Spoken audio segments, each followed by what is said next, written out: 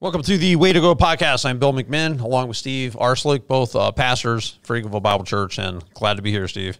Yeah, glad to be here too. Glad to talk. Anybody, you know, if anybody's listening, just uh, glad you're joining and and giving it some thought, and hope you're having a great day. Yeah, absolutely. Uh, one of the things I want to talk about was redemption from the perspective of I always learned it when I was in college and seminary that there's this term, and you see it often in the Bible. I mean, it's the Old Testament, New Testament, and it's you know we we think of redeem it would be like oh yeah I'm redeeming a coupon. You know, uh-huh. when redemption is used in the Bible, like they would actually have slaves and they would sell them.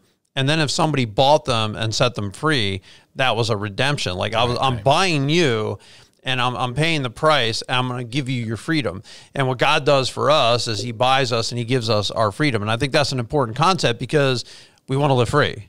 Right, right. And there's a lot of hurts out there, Steve. Yeah. And it, I mean, it's one of those things kind of reminds me, think about the cross, you know, Jesus paid the price on the cross. Right. He paid the cost, you know, and you've been bought for a cost, the Bible tells us. And so therefore right. we really aren't our own, we are his. And so we have been redeemed. We are Christ now. And, and, and this is where should be a reflective of where we're going in our lives and things that we're doing and, right. and our attitudes, our hope, our joy, our patience, all those things. Right. Yeah. I mean, there's a definitely a lot more positive lifestyle to live than one of being in, let's say, in bondage. And sometimes if you really think about your life, there whether it's some kind of sorrow, some kind of anxiety, uh, there's something you're doing. It could be a temper problem. Uh, some people struggle with immorality or addiction. I mean, there are certainly certain things. And here's what the Bible says: Isaiah 44, 22. I've swept away your offenses like a cloud, your sins like the morning mist. Return to me, for I have redeemed you. Now, as a guy who's a photographer and somebody who does go out to look at clouds. And, you know, cloud structures super important to me uh, because it makes buildings look better. It makes barns look better. It makes the water look better. It makes sunset look better typically, you know, sun, depending on how many clouds are in the sky. Like it's, mm-hmm. it's important.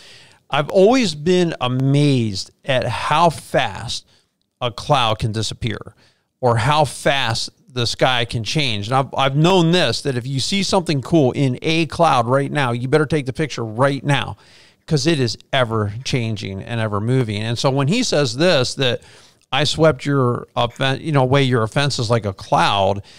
Yeah, you know, I kind of get that because I've seen the skies clear. I, the sins like the morning mist, we've all seen the mist evaporate and just not be mm-hmm. there anymore.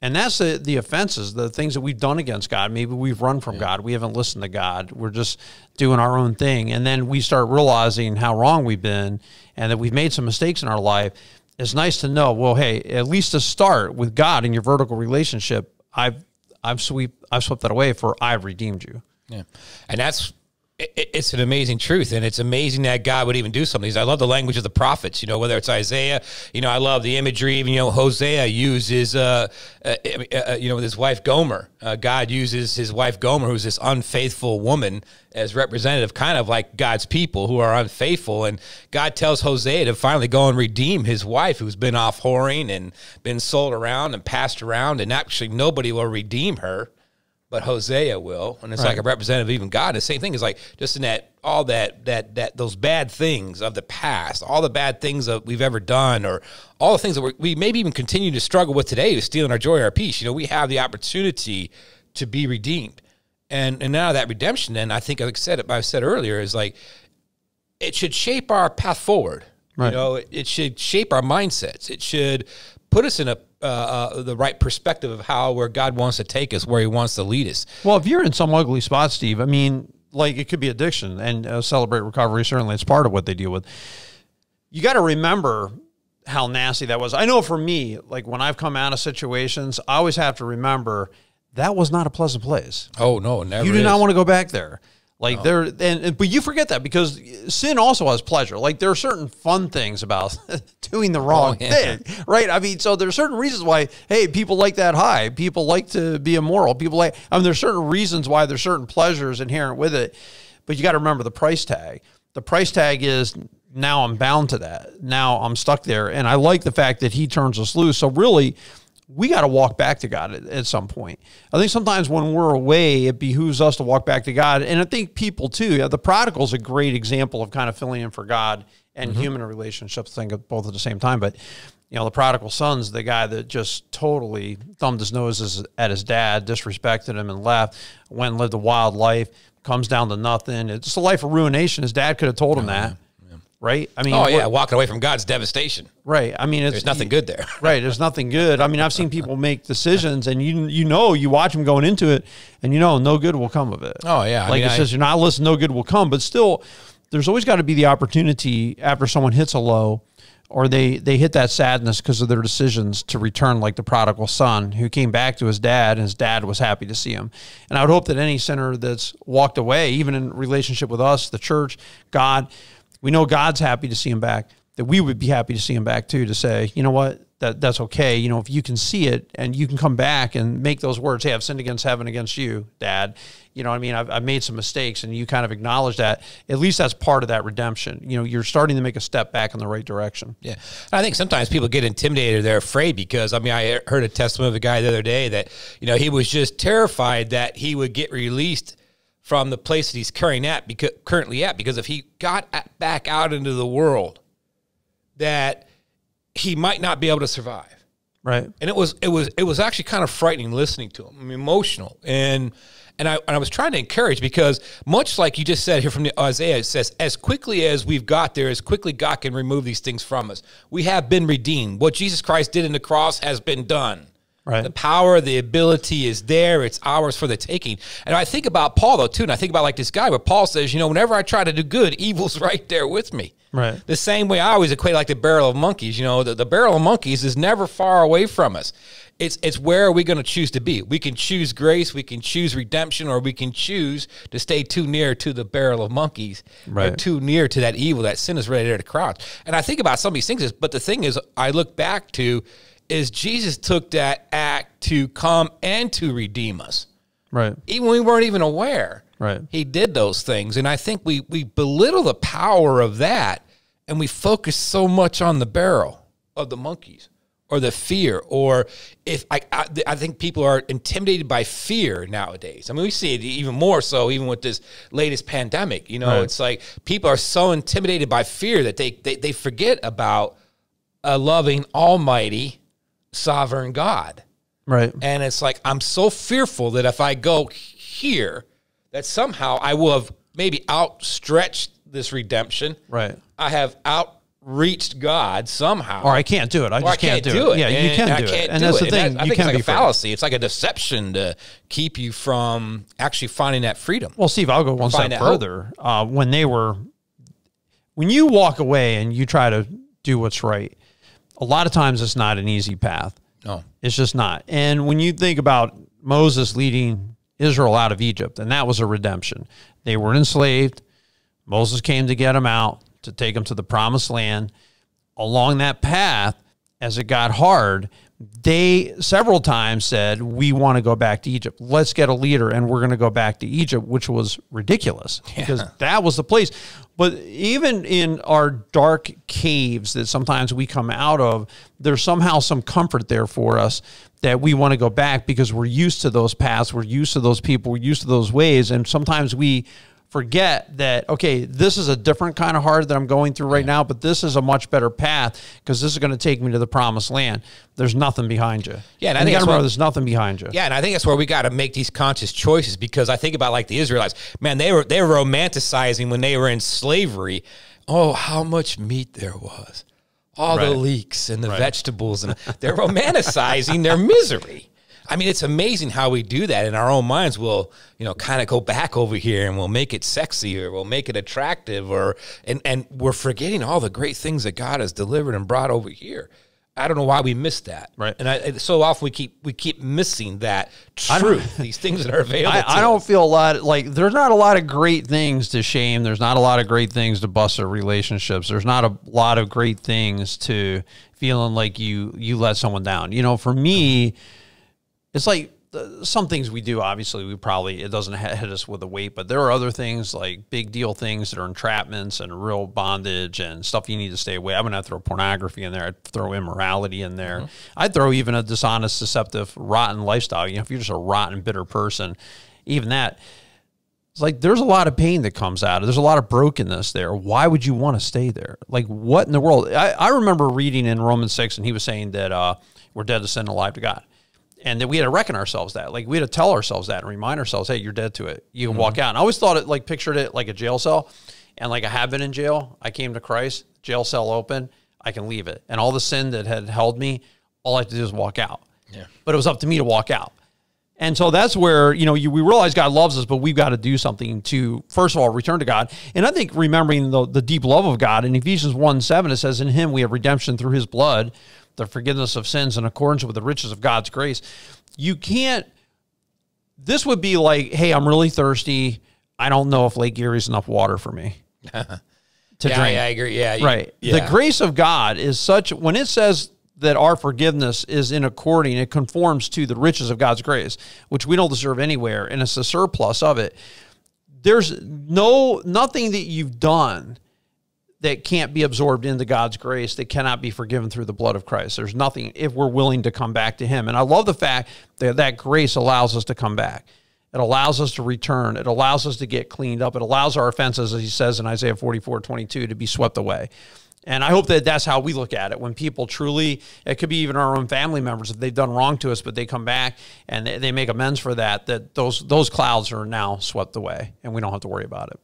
I think some of the problem is we just uh, sometimes people don't know what life is like. I, I, I either we put God in such a small box, or we're not quite sure as the things that we've become grown accustomed to or comfortable with. It's almost hard to envision a life with God outside of these things. I mean, I remember the first time I stopped drinking, and I was go. I really wanted to stop drinking. I, I got myself in so much trouble, and I know I needed to do something, but I almost didn't know what to do. It was so sad that I was, you know, I was in Baltimore. I was living in an apartment down there at the time, and and uh, you know, I I was waiting to go to a meeting, and I was so steeped in my former lifestyle that even waiting to go to a meeting, the only place that I could think to go to was to go into some bar and order a coke and wait till I could get there. You know what I mean? And because it was like I was, I didn't know Right. that I could go somewhere else. Right. It's like I'm, I was almost like so steeped in that type of thinking, trapped in that mindset that I didn't know anything differently. And that's why I try to encourage you. You got to look around. There's other places. You could, Right. I could have went to a coffee shop. I mean, I could have went. I, mean, I could have just stayed Right. at the apartment till I was a little bit closer to get. I could have done so many different things, but I couldn't see that there's something different to go do. And and I think people get caught up in that. Uh, they and it, they we miss the I don't know, we missed the bigger picture. We missed the magnitude of who God is. We missed the magnitude of his grace. We we we we missed the magnitude of the blessing that he wants to bestow upon us. And we we we continue to try to skirt the the bounds of his, you know, Well, how about this? You get yourself to a point where Paul says in 1 Corinthians chapter 6, I think it's 8 through 10, somewhere in there, but it's, you know, you guys were drunkards and swindlers and moral. all these things that you were. You were, but now you're you're you're justified. You're made righteous. Right. You're right. It, that that's not who you are today. And I think that even the person who comes out of addiction should not always look at themselves as an addict, or an alcoholic should not always look at themselves as an alcoholic, or somebody that maybe just did stupid stuff. Once they get redeemed, they get back on God's path.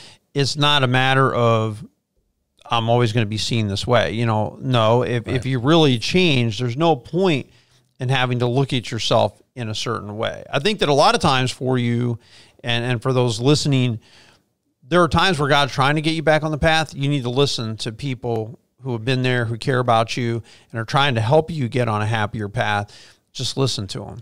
You know, listen to them. And if you've been ignoring, ignoring, then I at some point you got to start changing some of that stuff. It could be a kid with a parent who the kid's constantly not listening to the parent, constantly running into the problems, running into the problems with mom and dad, running into the problems with school, running into the problem with coaches and teachers and friends. And finally, just because you've been in a pattern of two or three years of not listening to parents or whatever it's been, doesn't mean you can't start changing that and start saying, you know what? I, I'm, a, I'm at home. I need to start respecting my mom and dad. I need to start listening. I need to start listening to what my teachers are telling me. I need to start reading my Bible. There are certain things that you can do to start turning it around. But at some point, I don't care like how tangled or how messy you've made it. There, don't get frustrated and say, "Well, I might as well just stay here. I might as well just stay right here because I've done so many stupid things." You can come back. Please come back. Yeah, what- start doing smart things. One of my favorite verses in Romans is Romans 4:17. It says, "Our God is a God who gives life to the dead and calls those things that are not as though they are." And you mentioned here in, fir- in 1 Corinthians 6, where we talk about the things that we were. I think the problem is so many people get stuck with they're still in the were, what we were. Right. Not what God has called us to be. I think sometimes in a world we're, we're, we're labeled with identity. It's one of the strengths of Eagleville has always been. People talk about being welcoming, love. You can come in, you can be whoever you are. We don't care what your past was. What is today? You know, because oftentimes, even sometimes people will identify. They'll stand up. I, I, hi, I'm so and so, and and I am X, Y, Z. Well, no, that's what you were. Your identity isn't what you were. Right. Your identity is today in Jesus Christ and Right. who you are now. You're a new creation. You're going forward. But the world wants to label you. Right. You're this. Right. We've almost taken to come out of drug addiction or come out of alcoholism or come out of some. We've almost want to make that the hero. Right. You know, there's nothing glorif. There's no glory there. Right. That was death and destruction. You're not a words, hero because you come hey, out of my it. or name something. is such and such, and I am. I, I a- am a Right. alcoholic, or I'm a drug addict, or, or I'm a, a victim of abuse, or I'm. The, we want to put so many labels. Those are things that we were. Right. We, we're still we're so stuck in what we were, and we forget that God calls those Right. not as they were, but as they are. Right. Well, when Jesus Christ changed a leper and cleaned him, did he constantly call himself a leper? Oh, for the you're a leper his life? forever. No, you're not. Once you're clean, you're clean. And what do people want to do though too? And this is one of the things I think Christians we have to be careful. You may know somebody's past. That person isn't what it was. Maybe they had problems. Maybe they had difficulties. Maybe they did go to jail. Maybe they were the deadbeat dad. Maybe they were uh, a- an unfaithful partner. Maybe they were this, that, whatever the case may be. If if that's the only lens you're going to look at that person, and you're forgetting all the credible evidence you see in the change in this person's life, and you're not supporting and helping that, well, God's called them to something. right. Are we going to support it, Right. or are we going to judge them? Right. You know, so no, no, we support can't him. label Absolutely. them. We no, can't I agree, identify them that way. We got to see them as something different. I agree, man. God does. And here's some encouraging, and maybe you need to hear this today. Uh, Acts three nineteen: Repent then and turn to God, so that your sins may be wiped out. And that's the key. You want your sins wiped out. You want a fresh start. Come to God. The times of refreshing may come from the Lord. And I love that idea that God just wants to bring a new spirit. And, you know, uh, David prayed, you know, Lord, you know, uh, restore to me the joy of my salvation. Put a steadfast spirit within me. I, I like the fact that refreshing and restoration and energy can come from God as we turn back to Him. And in John 10 10, the thief comes only to steal, kill, and destroy. I've come that they might have life and have it to the full. So if you're suffering by making bad choices, start making good choices, right? Mm-hmm. And understand the, the devil wants you in misery, not God. Absolutely. The devil wants you having a hard time and, and being broken and, and being having busted relationships with your old pals. You know what I'm saying? Now, sometimes they need to be busted, but I'm saying you're good pals. He wants that. And sometimes with your family members and what. And that's what he wants. That's not what God wants. He wants you to have life and have it to the full. And that's what we need to focus on. Is your life fulfilling right now? Is it satisfying? And if it's not satisfying, is it because you've been walking a bad path? This led to a lot of misery and destruction. What has it been? Absolutely. Yeah, I mean, Satan wants to keep us in that were identity. Right. This is what you were. This is what you are, and tries to keep that deception going. And I think so oftentimes I, I, I think about God, you know, some of the things God, He knows who His people are. He's calling us out. He has come and He has enabled you to see. He has unveiled you. He has enabled you to see the grace that He's giving you. He's enabled you to see some of the sins of your past. He's enabled you these things to come to Him through the Son. And so one, and I think about some of this is like God at the time probably did allow some of these, obviously allowed these consequences to come in our lives for bad choices, bad decisions. There may have been a terribly bad harvest we're still reaping.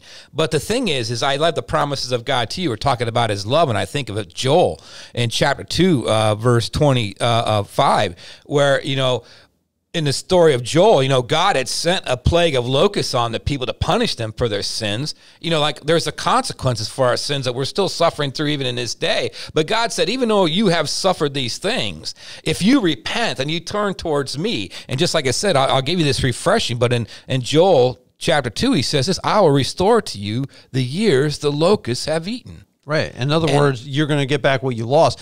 I, I think it's a great verse. I was just thinking about it the other day myself, actually, because I. I think it's so powerful, and I've seen it in my own life. And sometimes it's not the things that I've lost from what I've done. I've lost because of what other people have done. Yes. And it's there. In other words, I suffer, and and we all do at times. Like we suffer because of somebody else's bad decision Oh, absolutely. right and so then i i was because i was connected to you and you went down you drug me into your misery and mayhem because now either i have to replace you you know maybe you cheated from the company or now i got to replace you i got to go through a pain in the neck because of what you did I think even from that perspective, Steve, and we'll close the show with this.